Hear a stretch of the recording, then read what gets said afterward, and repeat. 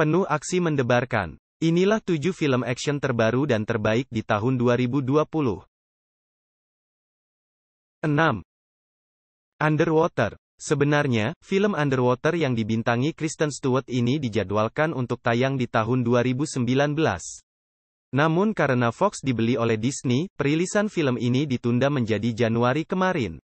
Underwater bercerita tentang sekelompok peneliti yang terjebak di laboratorium bawah laut. Teror mereka belum berakhir sampai di sana. Ternyata, terdapat seekor monster laut raksasa yang membunuh para awak secara satu persatu.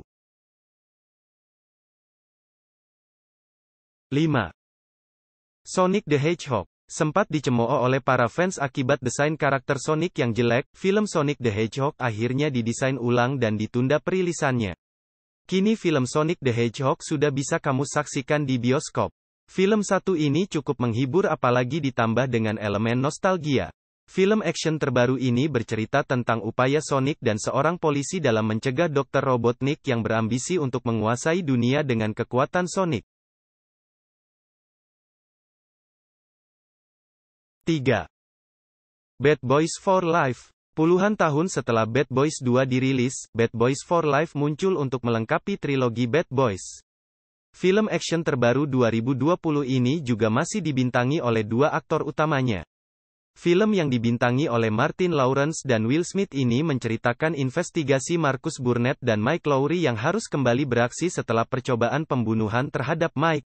Memanfaatkan nama franchise yang populer di era 90-an, nggak heran kalau Bad Boys for Life menjadi film paling laris di tahun 2020 hingga saat ini.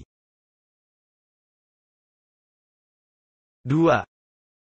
Bird of Prey Di antara kegagalan Suicide Squad, ternyata ada satu poin plus dari film ini, yakni karakter Harley Quinn yang diperankan oleh Margot Robbie. Oleh karena itu, Warner Bros. membuat film Bird of Prey, menjadi film solo dari karakter antihero wanita ini. Ceritanya, Harley Quinn kini telah putus dari Joker. Film action terbaru ini juga bakal memperkenalkan kamu dengan karakter jagoan wanita lainnya serta penjahat baru. 1. Bloodshot Bloodshot merupakan sebuah film action terbaru bertema superhero anti-mainstream yang tidak tergabung dengan franchise Marvel maupun DC.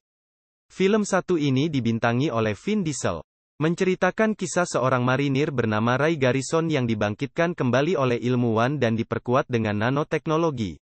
Ray yang dibangkitkan untuk menjadi tentara super tiba-tiba sadar akan masa lalunya dan berusaha mengungkap konspirasi merenggut nyawanya, dan istri yang sangat ia cintai.